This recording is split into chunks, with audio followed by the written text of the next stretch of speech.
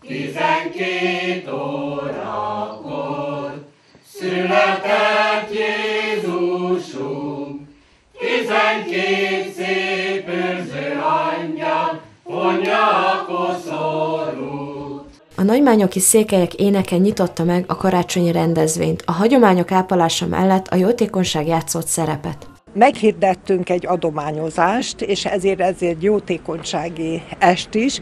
Látszik is, kiraktuk az adománydobozunkat, vagy a köcsögünket, mert szeretnénk a kapunk helyére a székelykaput felállítani, és erre most egy ilyen jótékonysági gyűjtést szerveztünk a mai naptól, úgyhogy lesznek még a, lesz a székelybál, és akkor azon kívül szervezünk majd előadásokat, vagy programokat, és az is ilyen adomány, vagy jótékonyság jegyébe fog lezajlani tenni.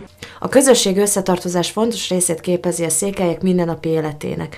Az egymás iránti kapcsolatok mintaként szolgálnak a fiatalok számára. Illés Tibor elmondta, a karácsony a meghittség mellett a népszokások és hagyományok megtartása nélkülözhetetlenek a vallásgyakorló székelyeknek. Maga a karácsony, a, az, az, a karácsony a készülődés, tehát ez mindegyfajta vallási közösségben is, ugyanakkor személyenként is külön-külön megélték.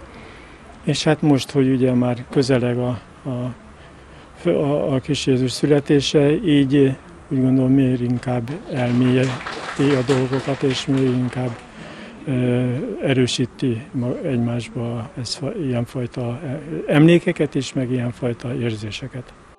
Csobánolást a Bukovinában eltöltött másfél évszázad óta a mai lakóhelyén Tolna, Baranya, Bácskiskun és Pest településein is megtartotta a közösség, mely mára annak szimbólumává vált.